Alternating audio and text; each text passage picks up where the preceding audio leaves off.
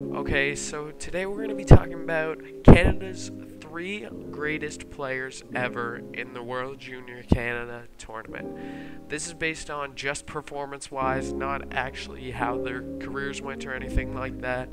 We're just going to be talking about their performance in the World Juniors. So, the first player we're going to be talking about is Jordan Eberle. Jordan Eberle put up 26 points, 14 goals, 12 assists in 12 World Junior Games.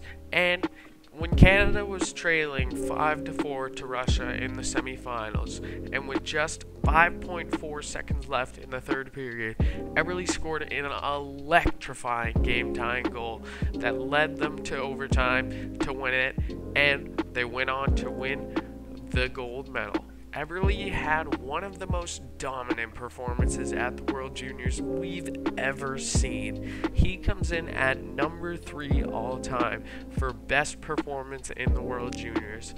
We all know what happened to Eberle. Eberle went on to have a mediocre career right now playing for Seattle, the expansion team. Obviously, he is a solid player, but nothing special. And this World Juniors was just crazy, crazy for him. So, next up, we're going to be talking about the one, the only, Wayne Gretzky, who, as a 16 year old, made the World Juniors roster and put up 17 points in six games. The Soviet Union ended up still winning gold despite Canada's shift in philosophy. However, Canada won bronze off a miraculous comeback over Czechoslovakia, and Wayne Gretzky had an amazing tournament with 17 points in six games. That's something you don't see every day, and we know why it happened. Wayne Gretzky is the greatest player of all time and had an amazing World Juniors. Obviously, at the time, everybody knew he was going to be the next GOAT, and he performed like it. Now, moving on to player number one, it is Eric Lindros. Yes, you might not have expected that, but Eric Lindros had the best World Juniors tournament we've ever seen.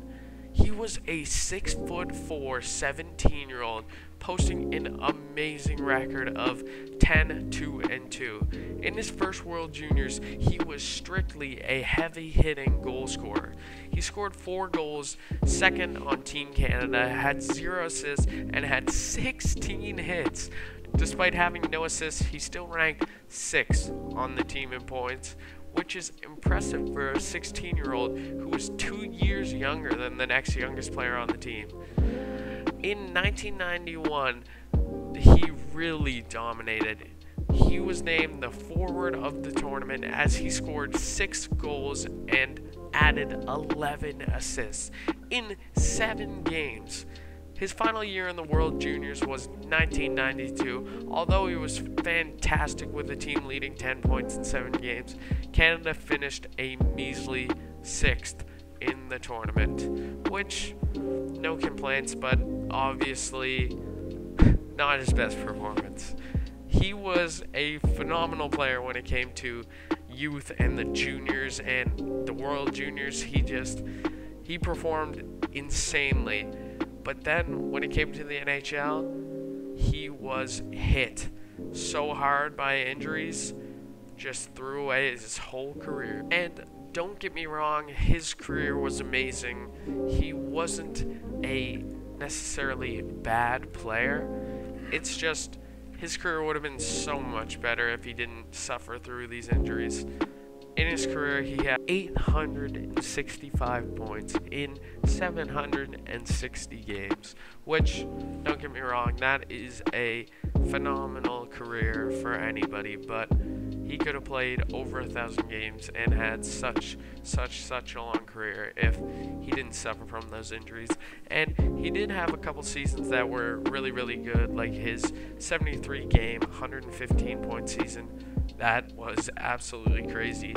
And even it came his next season, he put up 79 points in 52 games, which is still really good. But you can tell he he just he couldn't get a full season in. And fun fact, he never played a full 82 game season. He made it to 81 with New York, but never a full 82 game season. But this is why we have to mention this guy. He was just so good. In the OHL in juniors, he put up 149 points in 57 games in his draft year. Got drafted first overall to the Nordiques, who he said he wouldn't play for, so they traded him to Philadelphia, which worked out for both of the teams. But yeah, that's that's it for the video. So make sure to like, subscribe, share, comment, and I changed my mic a little bit. I made it a little bit louder, so let me know if that's a positive difference or a negative difference. I just had somebody comment on my video and said my mic was really quiet, so thought I'd give it a try, bump it up a couple notches, and see how it goes. So, yeah, Seider Central signing off. See ya.